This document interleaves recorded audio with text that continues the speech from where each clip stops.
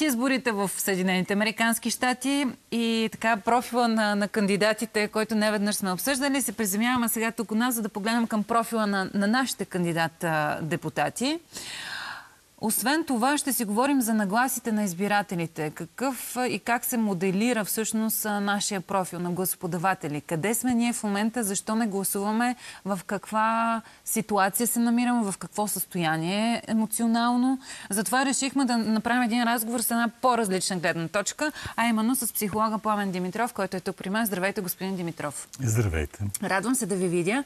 И освен това, което аз изборих като теми, които ние сме си е, така намислили да обсъдим с с вас, разбрахме, че имате едни предварителни данни от проучване за нагласата на избирателите, което ще добави още една стойност към всичко това, с което ще запознаем зрителите. Да, то че нямам окончателните резултати, може би до две седмици, е, но темата е, е емоциите на електората.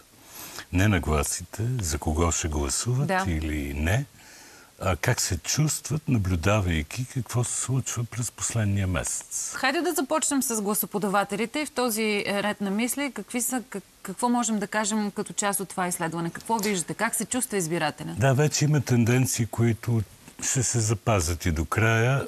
Първо имаме една огромна група, която е слезва на висцерално ниво. Висцерално Какво в медицината усещаш го телесно, като гнус, погнуса, отвращение, чувство за гняв, който доминира и в много случаи тези негативни емоции предсказват избягване от участие и свързване. Ключовата друга тема е липсата на наблюдение у електората, че се правят стъпки за възстановяване на доверието. Избираемостта на кандидатите и изборната активност зависят от убедеността, че може да се вярва на определени хора, каузи, начин на говорене и присъствие. И третата линия е къде са. Въпросът е, не усетих да има вслушване в обществото. Няма...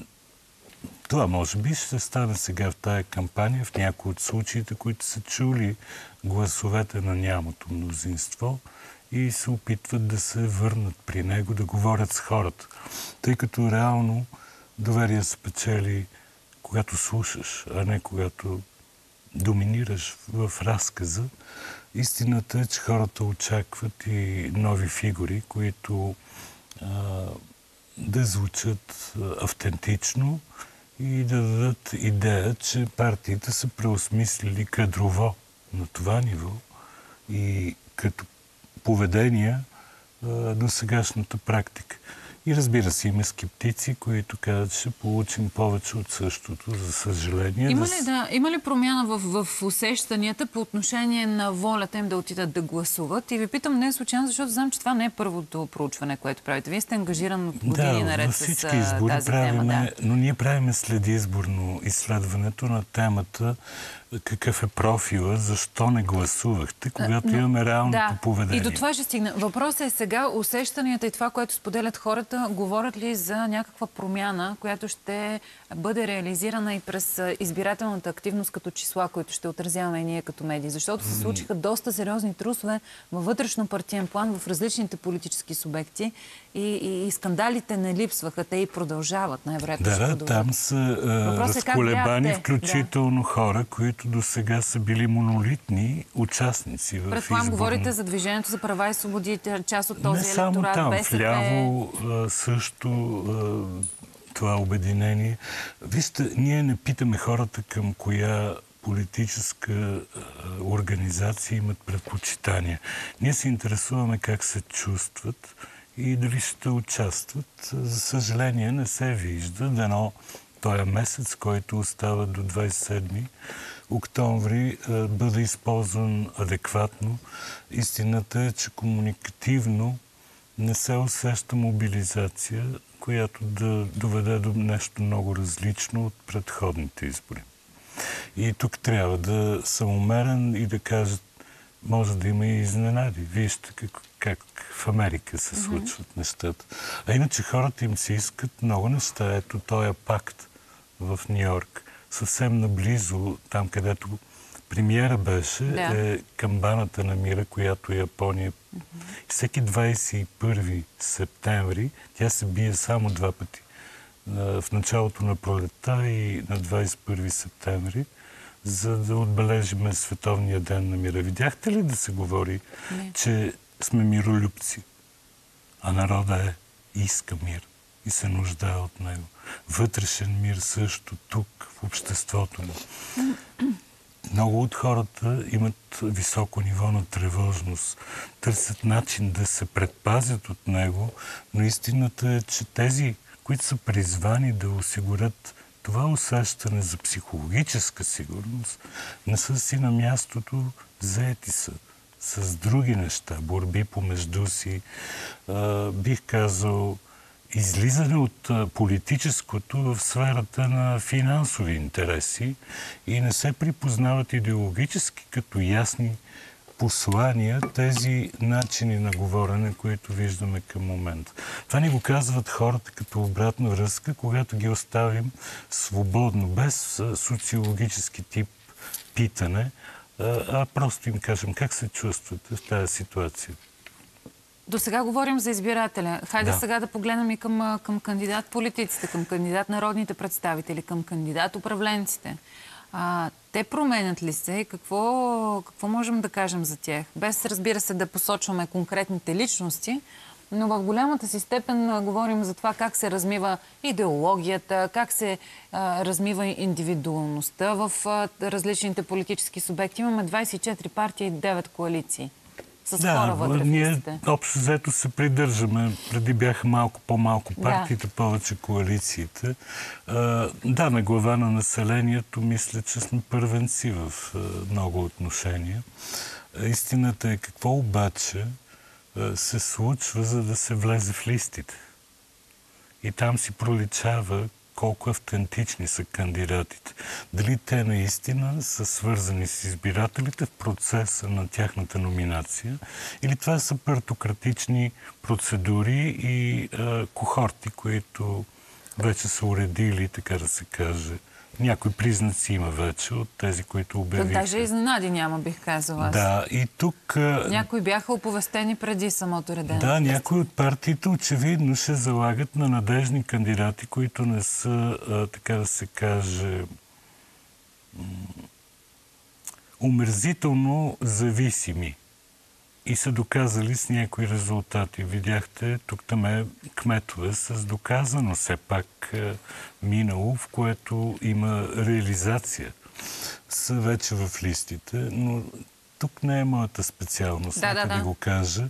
Истината е, че консултативната готовност на нашите политици, за, на, за мен като психолог и организационен консултант, това е много важен показател.